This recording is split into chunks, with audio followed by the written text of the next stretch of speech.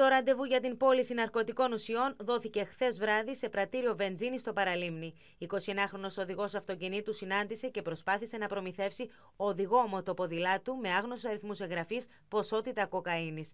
Το πρατήριο όμως είχε τεθεί ήδη σε παρακολούθηση από μέλη της ΙΚΑΝ μετά από πληροφορία.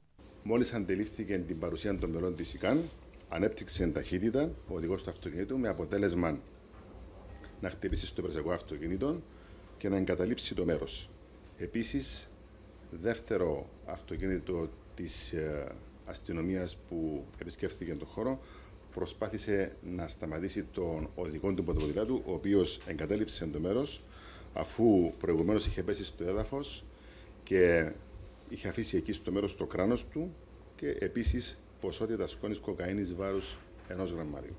Ω αποτέλεσμα της πρόσκρουσης, δύο μέλη της ΙΚΑΝ τραυματίστηκαν ελαφρά, αφού διακομίστηκαν στο Γενικό Νοσοκομείο Μοχώστου και τους παρασχέθηκαν οι πρώτες βοήθειες, στη συνέχεια πήραν εξητήριο.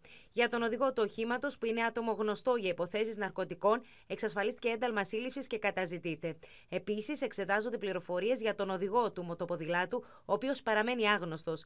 Την υπόθεση διερευνούν το ΤΑΕ και η ΙΚΑΝ Μοχώστου. Στο μεταξύ, σε μια άλλη υπόθεση, ένας Ελληνοκύπριος από το Τσέρι, ηλικίας 26 χρόνων, συνελήφθη σήμερα τα ξημερώματα από άνδρες τη Σικάνα Μοχώστου, όταν στο αυτοκίνητο που ήταν συνοδηγός εντοπίστηκαν δύο νάιλον σακουλάκια που περίχαν πράσινη φυτική υλικάναβη βάρου 7,5 γραμμαρίων.